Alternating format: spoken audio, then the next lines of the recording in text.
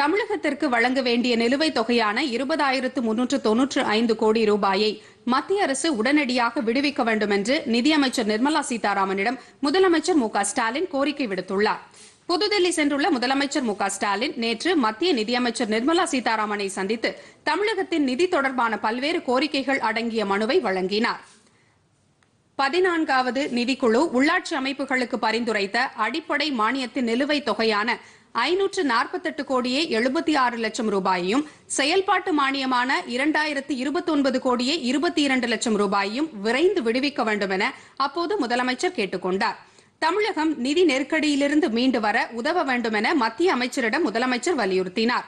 மேலும் ஜிஎஸ்டி வரி விதிப்பினால் மாநிலங்களுக்கு ஏற்படும் இழப்பை ஈடுகட்ட மேலும் இரண்டு ஆண்டுகளுக்கு இழப்பீடு வழங்கும் காலத்தை நீட்டிக்க வேண்டும் என்று முதலமைச்சர் அளித்த மனுவில் கேட்டுக் கொண்டுள்ளார் தொடர்ந்து மத்திய வர்த்தகம் தொழில் மற்றும் நுகர்வோர் விவகாரங்கள் துறை அமைச்சர் பியூஷ் கோயலை முதலமைச்சர் மு ஸ்டாலின் சந்தித்து பேசினார்.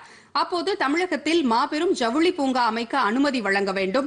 காலணி உற்பத்தி தொழிலில் புதிய உற்பத்தியுடன் இணைந்த ஊக்கத்திட்டத்தை செயல்படுத்த வேண்டும். எஃகு விலையை கட்டுப்படுத்த வேண்டும் என்பன உள்ளிட்ட ஏழு அம்ச கோரிக்கைகளை வலியுறுத்தி மனு ஒன்றை மு ஸ்டாலின் மத்திய அமைச்சரிடம் வழங்கினாா் இதனைத் தொடர்ந்து வர்த்தகம் மற்றும் தொழில் தொடர்பான ஆய்வுக் கூட்டத்தில் தமிழக தொழில்துறை அமைச்சர் தங்கம் தென்னரசு உணவுத்துறை அமைச்சர் சக்கரபாணி நாடாளுமன்ற உறுப்பினர் டி ஆர் பாலு தலைமைச் செயலாளர் இறை அன்பு தொழிற்துறை கூடுதல் தலைமைச் செயலாளர் கிருஷ்ணன் உள்ளிட்டோர் கலந்து கொண்டனர்.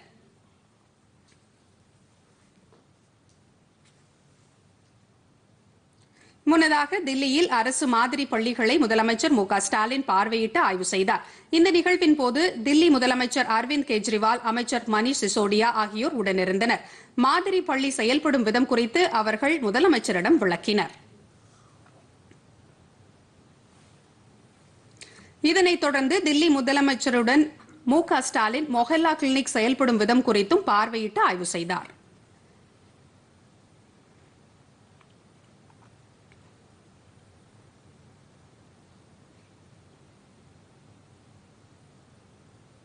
இதனிடையே தில்லி தமிழ்நாடு இல்லத்தில் முதலமைச்சர் மு க ஸ்டாலினை சர்வதேச சதுரங்க கூட்டமைப்பின் தலைவர் வார்கோவிச் ஆர்கிடி சந்தித்து பேசினார். அப்போது சென்னையில் நடைபெறவுள்ள நாற்பத்தி நான்காவது சர்வதேச சதுரங்க போட்டி குறித்து அவர் முதலமைச்சருடன் கலந்துரையாடினார். இந்த சந்திப்பின் போது தமிழக இளைஞர் நலன் மற்றும் விளையாட்டுத்துறை அமைச்சர் மெய்யநாதன் உள்ளிட்டோர் உடனிருந்தனர்.